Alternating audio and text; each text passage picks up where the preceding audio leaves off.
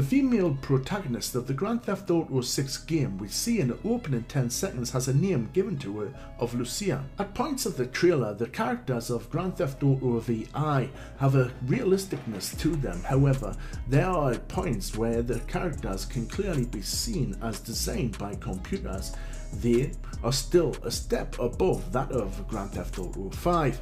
The Grand Theft Auto 6 City graphics look as smooth as ever, along with the Grand Theft Auto 6 nature graphics of the marshes with flamingos look beautiful as seen in these images from the trailer. The only problem I can pick out is the clouds look fake and computer generated. However, just look at this beauty. We talked about the name of the main female protagonist of the Grand Theft Auto VI game trailer. Now let us talk about the Grand Theft Auto 6 Bonnie and Clyde story mode hinted at in the trailer.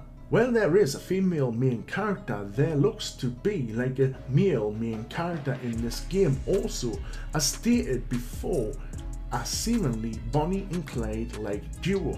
I hope however that Rockstar staying away from the message of the left wing agenda as it is seemingly out to make the female protagonist more the head of this game leading and peering over the man and the man behind the woman breaking into a shop Hopefully, this does not degrade men and lead people to hate the Grand Theft Auto franchise, like what has happened with Disney and the Doctor Who franchises. The thing with the Grand Theft Auto 6 game, what you have is the Grand Theft Auto game online mode, which I myself would end up playing predominantly so we can evade any possibility of the Grand Theft Auto 6 game story mode if they were to try and force a political agenda on the players. Now since we have seen a game in the past called Grand Theft Auto Vice City, we have here what looks like a trip down memory lane to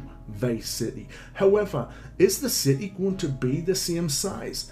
Is the city going to be exactly the same or will it have parts of the old place in the new Grand Theft Auto 6 game map? I am wondering however what I think many may have missed in this trailer is how Rockstar will use the in-game social media like TikTok livestream in which they hint to in these images or if it is simply just something they added as a nod to the game streamers in respect to them for the amount of streaming of GTA 5. It seems to me as if it is a bigger part of the game.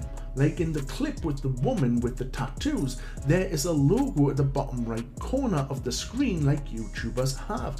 And then we go on to this next clip of what looks to be like a TikToker called Lucha Libre Fan who is live streaming an old lady. The new GTA 6 game release date is set to be set for 2025 as seen in this image from the new Grand Theft Auto 6 game trailer release. I give this an 8 out of 10 while it looks better than GTA 5 in its aesthetics, it still has some points of clear computer uh, generated imagery Subscribe to Gamer Inc., the YouTube channel for reviews, story mode gameplay, live streaming gaming, and much, much more. When you have subscribed, please select all notifications when pressing the notification bell. Strike the like and share our content to help our community grow. And why not leave your views on the trailer in our comment section below as well.